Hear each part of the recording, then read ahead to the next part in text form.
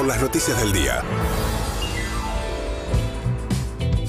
Bien, son las, las 14.08. Hace un día lluvioso. Feuchito, ya están jugando el segundo tiempo Países Bajos y Senegal. Ponemos todo más o menos al día y vamos a hacer un pequeño resumen de noticias del fin de semana eh, con la más relevante, ¿no, Emi? El fallecimiento de Eve. A los 93 años falleció ayer por la mañana la presidenta de las Madres de Plaza de Mayo. La noticia explotó en Twitter a partir de un tuit de la vicepresidenta, de Cristina Fernández de Kirchner. Había sido Eve dada de alta el 13 de octubre, después de haber estado internada tres días en un hospital de La Plata, para hacerse controles médicos. Según aquel parte médico, se le habían hecho estudios por enfermedades crónicas. De nuevo, enfermedades crónicas en una persona de 93 años. Una semana antes de ser internada, había encabezado la marcha que realizaba todos los jueves y en esa ocasión le había dado participación a los estudiantes de escuelas tomadas de la ciudad de Buenos Aires. Eve tuvo tres hijos, Jorge Omar, Raúl Alfredo y María Alejandra. A comienzos de 1977, el hijo mayor, Omar, fue secuestrado y desaparecido en La Plata y en diciembre de ese mismo año desapareció también Raúl. Al año siguiente también desapareció su nuera, María Elena Bunones Cepeda. Me olvidé de, de quién era el día en que ellos desaparecieron. Nunca más pensé en mí, dijo Eve hace unos años en una entrevista.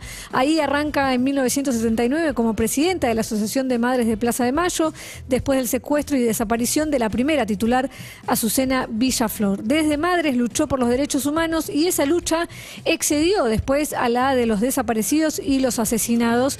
Por pedido suyo, sus cenizas van a descansar en la Plaza de Mayo y el gobierno decretó tres días de duelo nacional. Son 45 años de militancia Sí. de, de María Eve Pastor de Bonafini.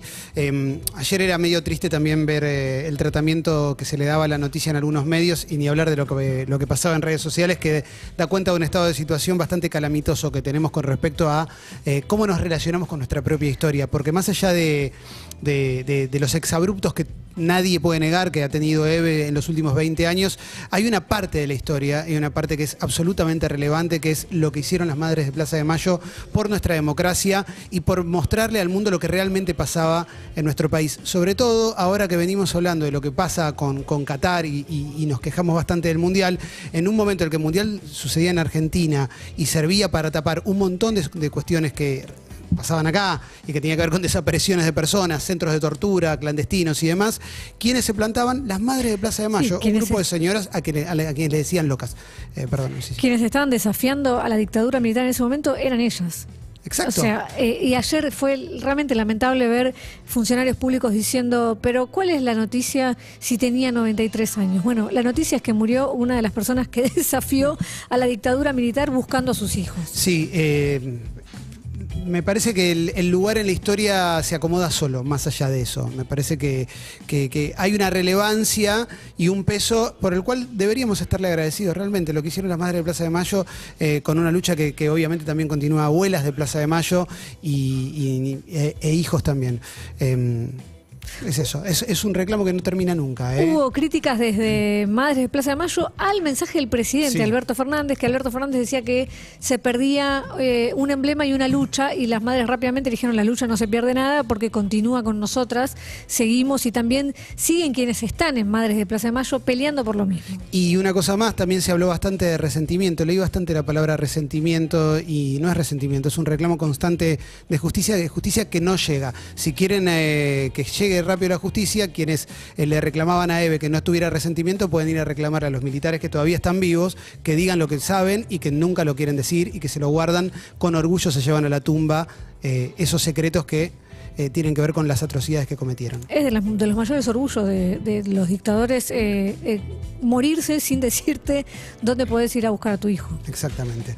Bueno, tenemos el descenso más pronunciado de nacimientos en nuestra historia. Es un dato muy importante. Argentina vive el descenso más pronunciado de nacimientos en la historia desde que hay registros, con una tasa de fecundidad que bajó un 34% entre el 2014 y el 2020. Significa en promedio que nacen 250.000 bebés menos cada año. Las razones, mayormente por menos embarazos adolescentes. Hay un 55% menos de embarazos adolescentes. Es una gran, gran noticia, 55% menos de embarazos adolescentes. El informe se llama Odisea Demográfica, Tendencias en Argentina, lo hizo CIPEC y muestra cómo a partir del año 2014 los niveles de fecundidad, es decir, la cantidad de hijos que tienen las personas gestantes en edad fértil perdón, comenzó a disminuir abrupta y significativamente. La cantidad de chicos nacidos por persona gestante está hoy entre las más bajas de Latinoamérica. Para tener una idea, trazamos una línea en el tiempo. En 1950 la tasa era de 3,3 chicos por mujer.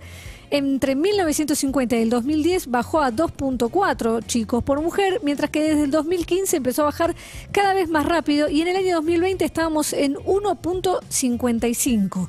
Los especialistas lo que dicen es que este, eh, este, esta es una oportunidad para eh, de un bono, lo que llaman bono demográfico, que es maximizar los recursos y aplicar políticas redistributivas, con menos chicos, más mujeres en el mercado laboral y no tan tantos viejos todavía, hmm. viejos viejos, sería el momento de pensar una política de redistribución. Para eso, por ejemplo, que es muy importante, los datos del censo. Claro. Que todavía, que todavía no, está. Increíble. Te tiro el pianito. Gracias, Emi.